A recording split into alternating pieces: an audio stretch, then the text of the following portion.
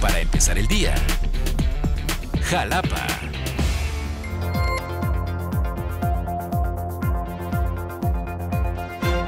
El alcalde de Jalapa, Ricardo Agüet Pardahuil, dio a conocer que los 374 policías municipales pasarán de tener un salario mensual de 13 mil pesos a 14 mil 500 pesos a partir del mes de noviembre y para el 2023 podría subir aún más para ser de 16 mil a 16 mil 500 pesos. El presidente municipal de Iztaxoquitlán, Aún Álvarez Pellico, reconoció que en esa demarcación continúa la presencia de bandas del crimen organizado que se están disputando la plaza, lo cual genera situaciones de violencia.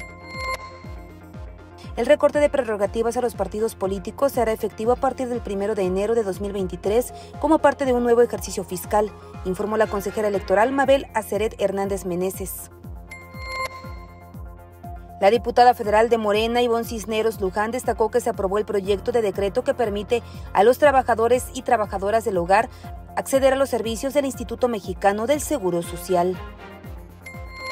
Después de 10 meses de lucha contra el cáncer, fallece en un hospital de la Ciudad de México el niño Betito Mesa Gómez, hecho que causó conmoción entre la sociedad y este domingo lo despidieron con un homenaje entre aplausos y porras de amigos y familiares.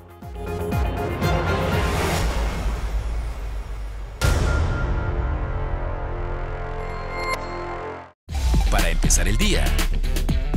Jalapa.